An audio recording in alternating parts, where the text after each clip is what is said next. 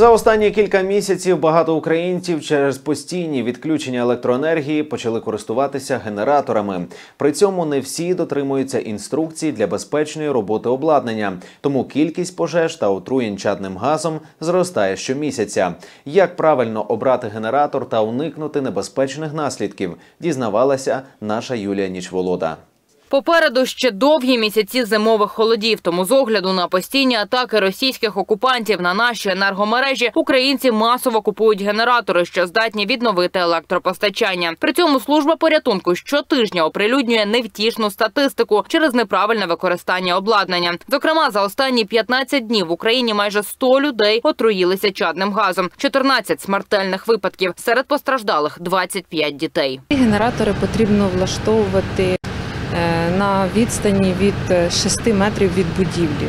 Це хоча б. Е, Але ми знаємо такі випадки, коли генератори влаштовують е, в самій квартирі, в будинку, е, що призводить, е, на жаль, до нещасних випадків, до летальних випадків, тому що сам електроприлад він виділяє отруйні е, речовини, які пагубно впливають на життя. І ми знаємо випадки, е, коли це призводить до летального, на жаль, випадку. За словами прес-офіцера Державної служби з надзвичайних ситуацій Олександра Хорунжого, чадний газ не має ні смаку, ні запаху. Симптомами отруєння можуть бути головний біль, запаморочення, порушення координації, біль у грудях, втрата свідомості. У таких випадках наголошує Хорунжий, потрібно негайно викликати лікаря. Також слід пам'ятати правила пожежної безпеки та рекомендації від пожежників у приміщеннях, підвалах та на балконах ставити генератори категорично заборонено.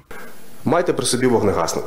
Якщо зайнявся генератор, оперативно ми можемо порошковим або- або вуглекислотним вогнегасником 2-5 літрів неважливо, на первинній стадії ми можемо його загасити. Рятувальники також наголошують на перевірці обладнання під час придбання, адже можна натрапити на неякісний товар, що виведе з ладу весь електричний ланцюг. Тому кожен генератор повинен мати сертифікаційну книжку. Вартість такого приладу не може бути занадто низькою. І купуємо сертифіковану продукцію, купуємо в ліцензованих точках продажу, запитуємо сертифікат, підключаємо не самостійно, а нехай це робить фахівець відповідний. Для того, щоб у вас потім не було ні коротких замкнень, ні пожеж і таке інше. Заправляємо генератор а, на холодну, не під час його роботи. За словами продавця Тараса Худька, для того, щоб обрати генератор, варто визначитися з його потужністю і підсумувати потужність усіх електроприладів, які будуть працювати одночасно у разі вимкнення світла. Зараз попит іде на генератори. е, Якщо для домашнього використання це інвекторні генератори е, невеликих потужностей, там 2,2 кВт, 2,1 кВт, 1,5 кВт. Якщо брати для більш е, кофейні або ресторани, то вони купляють, купують генератори бензинові, однофазні, трьохфазні від 5 кВт. Генератори бувають бензинові, дизельні, газові та газово-бензинові, каже менеджер з продажу Олексій Харитонов. За його словами, прилади, що працюють на бензині, зазвичай найбільш прості й дешеві, мають відносно невелику потужність та не розраховані на безперервну роботу, проте легкі в експлуатації. Дизельні зазвичай більшої потужності, важчі, дорожчі. Проблеми можуть виникати у людей з генераторами, які мають е, додаткові якісь функції. Наприклад, інверторні плати, які видають чистий синус, це такий додатковий пристрій, який може виходити з ладу з часом, е, дивлячись, який бренд його рекомендує. І також е, дуже розповсюджені моделі, які йдуть з електростартером, які можна легко завести з ключа або з пульта.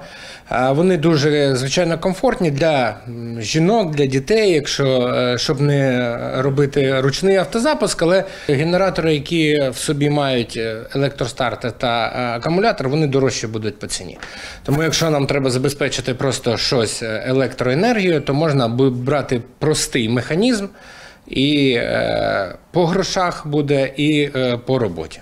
Кабінет міністрів ще на початку листопада ухвалив рішення звільнити операції з імпорту генераторів, акумуляторів, обігрівачів від візного мита та ПДВ. Тому додаткових податкових платежів при ввезенні купленого за кордоном генератора наразі немає. І на час опалювального сезону уряд їх точно не повертатиме. Юлія Нічволода, Артур Захарченко. Новини Правда тут.